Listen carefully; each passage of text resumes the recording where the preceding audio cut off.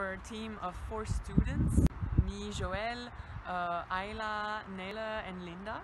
And we decided as part of one of our classes to create a project, a sharing project.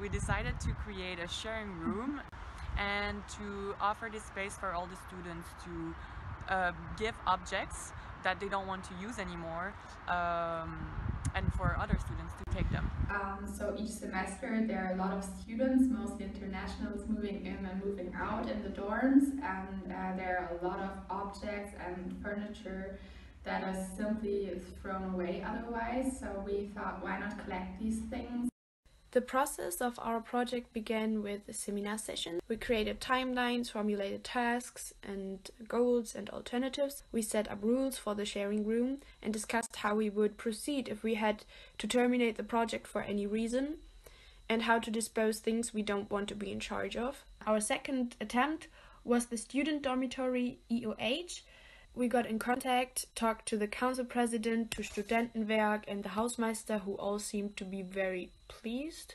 Finally, we have to talk to the facility manager and get the final okay. Yeah, at the same time, we started to implement our project, cleared and cleaned a room in the EUH, painted our rules on pieces of wood, and hung them up.